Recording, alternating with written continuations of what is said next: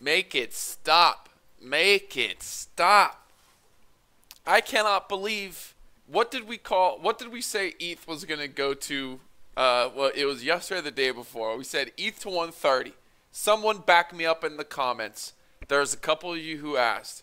What did I say ETH was gonna go to? I can't believe this shit. I can't believe what I'm seeing.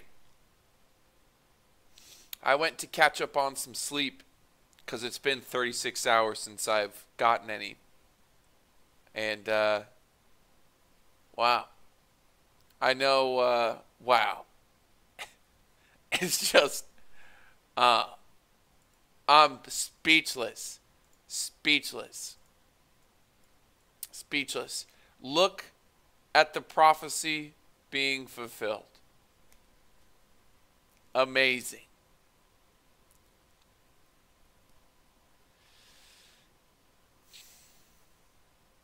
This is low. that is so low.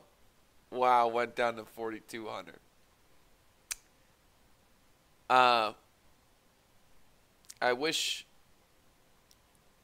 uh, I didn't withdraw anything and I just held a short. I can't believe this. Can't believe.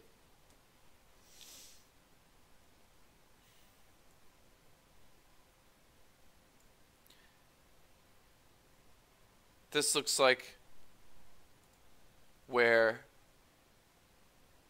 it'll rise up again. Like, look, it's the same thing. It's just repeating some shit.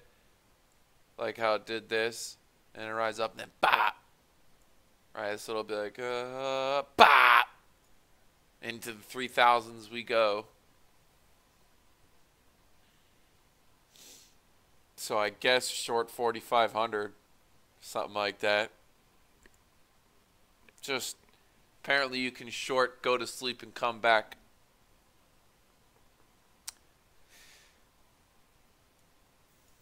There's going to be. Oh my God! I can't believe I've been calling for this to happen. I can't believe it. I can't believe it. You know, it's actually very sad. These are these are scary times. Scary times for a lot of miners, small ones, people that aren't prepared that weren't prepared that are holding crypto. Man, oh man. I told you to turn your crypto into fiat. Been telling you to do it.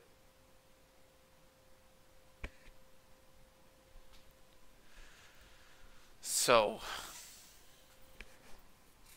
yeah, I am uh, shocked. Shocked.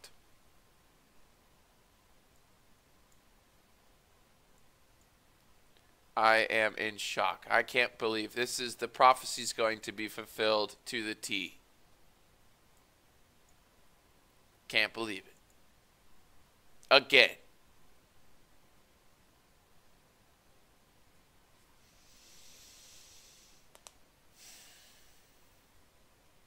There is no such thing as support right now.